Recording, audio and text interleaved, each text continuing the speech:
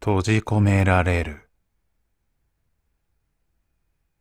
彼はエレベーターの管理、修理をしている。ある日、病院のエレベーターが故障して止まってしまったと連絡を受けた。すぐに車を飛ばしたが、到着した頃には2時間が経っていた。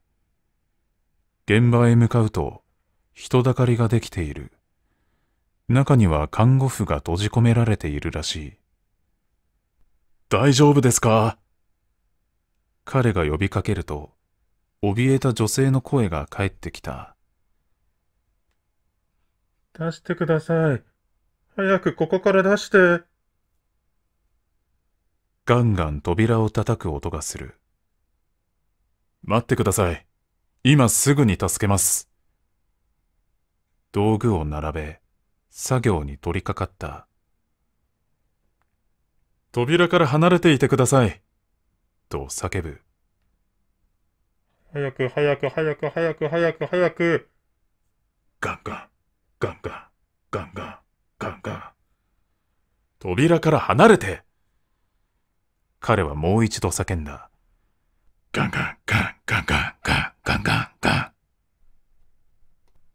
扉は狂ったように内側から叩かれている。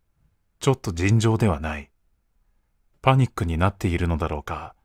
周りの人も不安げに顔を見合わせている。見かねて院長が扉に近寄って怒鳴った。扉から離れなさい。危険だから。離れてます。女の悲鳴のような声が聞こえた。暗くてわからないけど、ここ何かいるみたいなんです。彼はぞっとした。じゃあ今、目の前で扉を殴打しているのは何だ？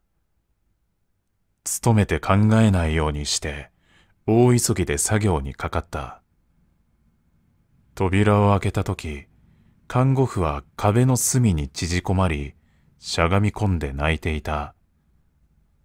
彼女曰く、電気が消えた後、何者かが寄り添って立っている気配がしたという。気配は徐々に増え、彼が来る頃には、エレベーターの中は、そいつらでいっぱいだったそうだ。